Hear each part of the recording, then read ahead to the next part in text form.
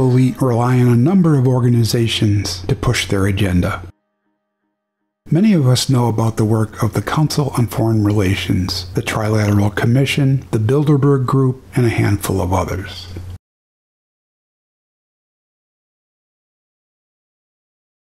The Tavistock Institute for Human Relations is included and instrumental in this collection of subversive organizations. However, we rarely, if ever, hear about its role in mass brainwashing and shaping of public opinion.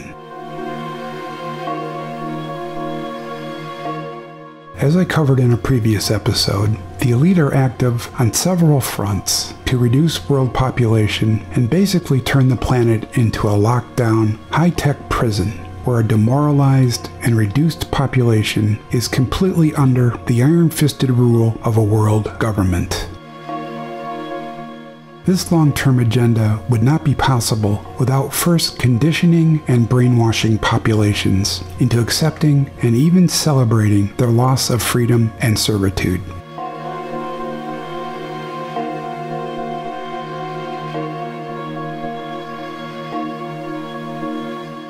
The control agenda of the Tavistock Institute was first exposed in 1969 by author and researcher John Coleman.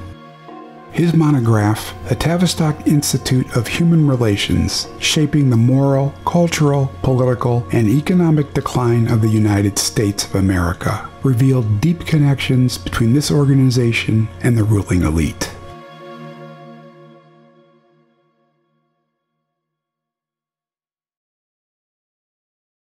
Tavistock emerged in 1921 at the Wellington House in England. This seemingly innocuous name served as a cover for Britain's War Propaganda Bureau. David Lloyd George, the Chancellor of the Exchequer, was given the task of setting up a British War Propaganda Bureau. George appointed the writer and fellow Liberal MP Charles Masterman to head the organization. Members included H.G. Wells and Rudyard Kipling. A number of writers were put to work cranking out pro war propaganda to promote and demand participation in the so called Great War, now known as the First World War.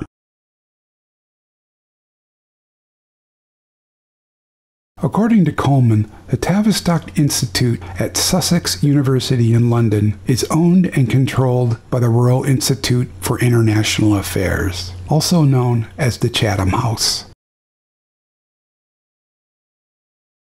This is the epicenter of the British establishment. Its meetings are secret, like those held by the Bilderberg Group. The Royal Institute for International Affairs is said to be based on the King Arthur myths. Financial backers of this organization included the Astor family. Its American equivalent, the Council on Foreign Relations, was funded by J.P. Morgan, Jacob Schiff, Paul Warburg, John D. Rockefeller, and others.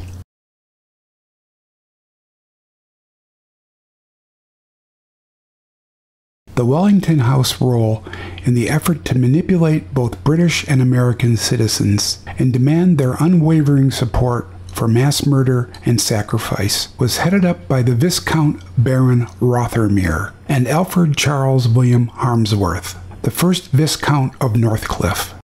Northcliffe was essential to the brainwashing project. He owned the Daily Mail and the Daily Mirror newspapers. Rothermere was the chairman of the Daily Mail and General Trust. According to Coleman's research, Tavistock received its funding from the British royal family and later the Rothschilds, to whom Lord Northcliffe was related through marriage. It also received funding from the Rockefeller Family Trusts and the Milner Group.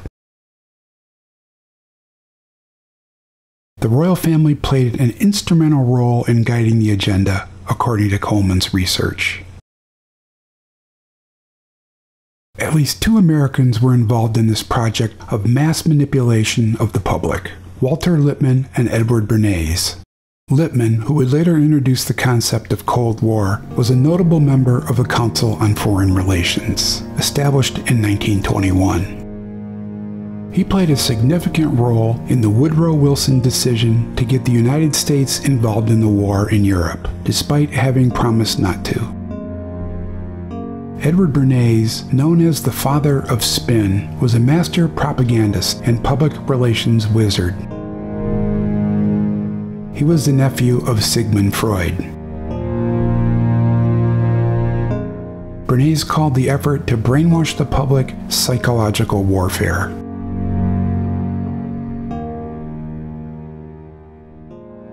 In 1937, Tavistock based its operations on German philosopher Oswald Spengler's book, The Decline of the West.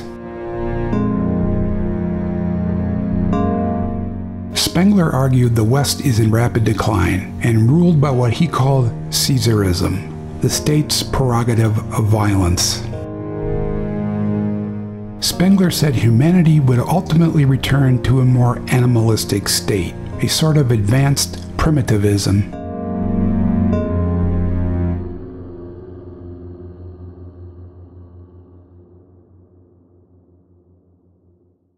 Spengler's analysis is hardly a match for the Tavistock agenda implemented by the elite, the British royal family, and globalist one world organizations. Tavistock took what it wanted from Spengler the theory civilization is doomed and must be replaced with a different system. Not the primitivist social utopia imagined by Spengler, but rather a one world globalist totalitarian government set on reducing population and controlling all aspects of society.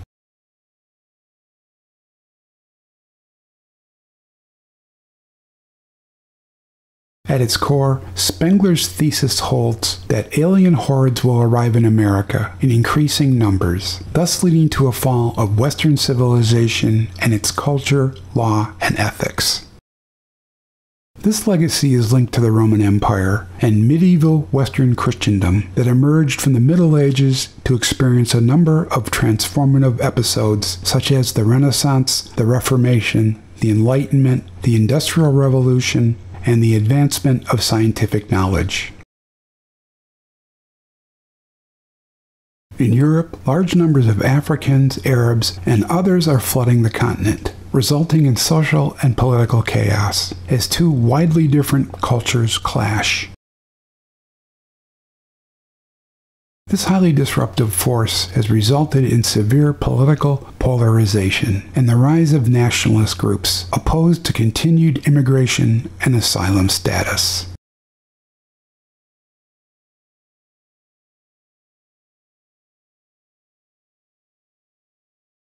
Wellington House Board members Rothermere, Northcliffe, Lippmann, and Bernays also praised a book by Correa Moylan Walsh the Climax of Civilization, published in 1917. Walsh argues civilization has reached the end of its centuries long use of natural resources and is plagued by irreversible social and moral decline. The author discusses topics that would later be taken up by the Club of Rome,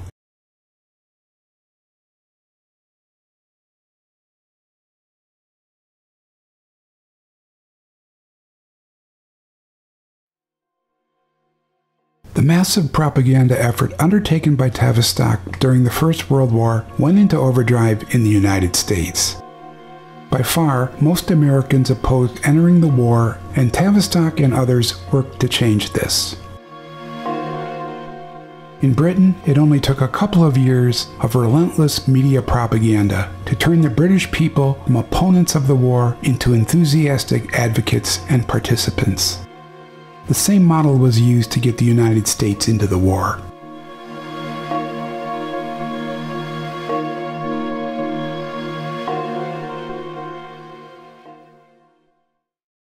Propaganda warps perception and introduces new terms to demonize a shifting array of opponents.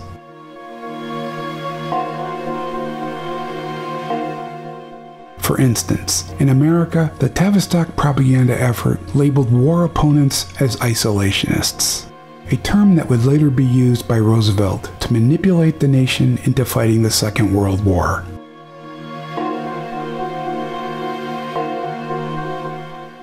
Propaganda portrayed isolationism, which is in actuality peaceful and mutually beneficial relations, and aversion to becoming entangled in the affairs of other nations, as nothing short of treason.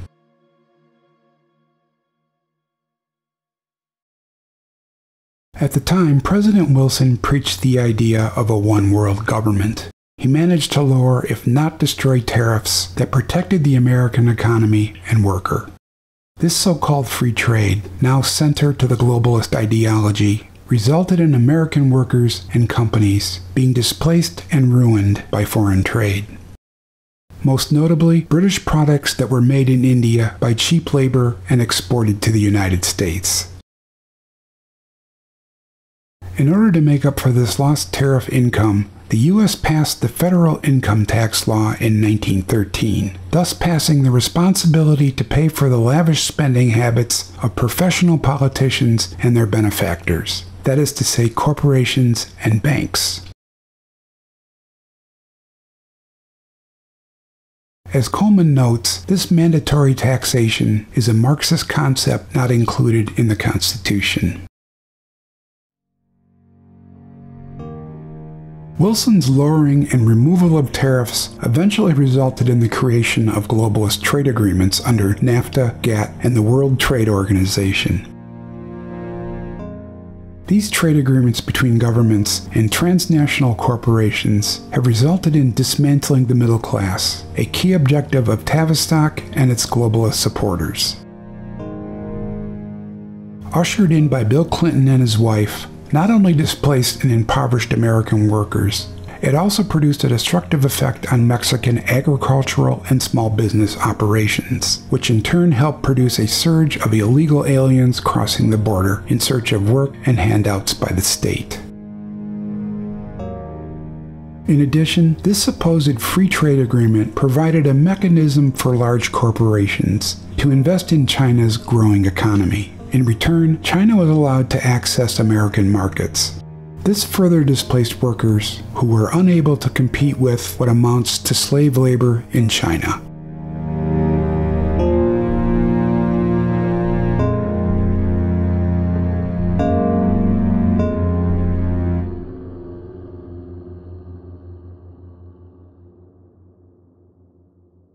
Tavistock and the Wellington House also pushed for the passage of the Federal Reserve Act, the same year an income tax was forced on the American people. The destruction of the U.S. economy and the gradual impoverishment of the American middle class would not have been possible without the creation of the Federal Reserve, which controls and manipulates the money supply to benefit the 0.1% through ongoing upward distribution of wealth.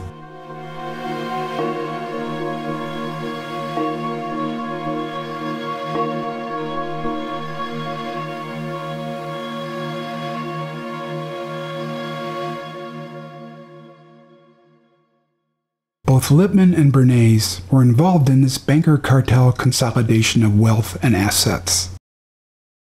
They established the National Citizens League, a rather transparent oxymoron, under the direction of Samuel Untermyer, a prominent New York lawyer who pushed the Federal Reserve Act and associated legislation, including the Clayton Bill. Before the Federal Reserve Act could be signed by Wilson, it was gone over with a fine tooth comb by Colonel Edward Mandell House and the British oligarchy represented by the banker J.P. Morgan.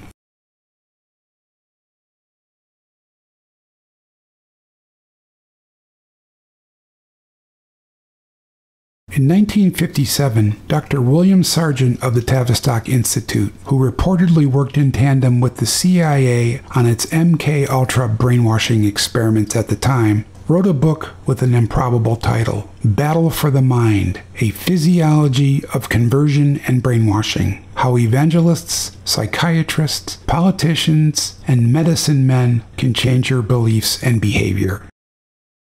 Sargant explains how alien beliefs can be implanted in the human brain through induced fear, anger, and excitement.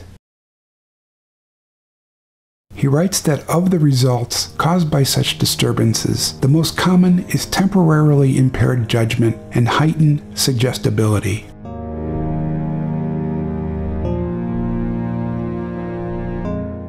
This results in what psychologists call herd instinct, and it is most prevalent during war, epidemics, and all similar periods of common danger, which increase anxiety and opens up the individual to mass suggestibility.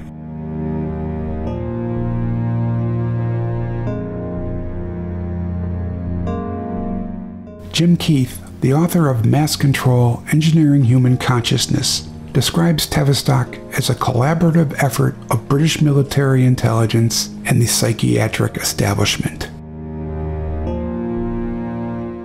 Keith writes that Tavistock's influence reaches the mass corporate media, corporations, governments, and the psychiatric establishment. Coleman has said the moral, spiritual, racial, economic, cultural, and intellectual bankruptcy we are now in the midst of today is the product of a carefully planned Tavistock program.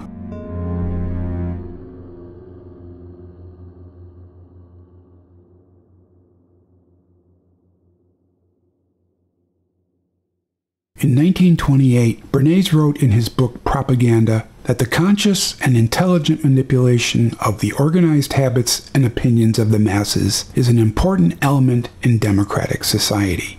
Those who manipulate this unseen mechanism of society constitute an invisible government, which is the true ruling power of the country. This legacy of lies and manipulation in the name of war and a totalitarian world government is alive and well today. Every day we are slammed with fake news guiding us along a prearranged path toward our ultimate enslavement and the prospect of never ending war and conflict.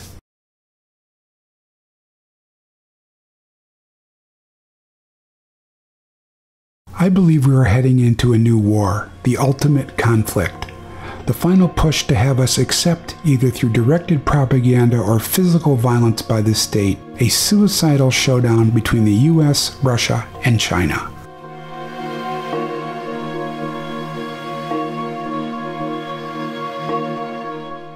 If we survive this engineered war, we will all be swept into bondage. For as Henry Kissinger so aptly noted, if the orchestrated crisis, or a number of them piled one upon the other, are effective, the American people will run to the state and beg for protection.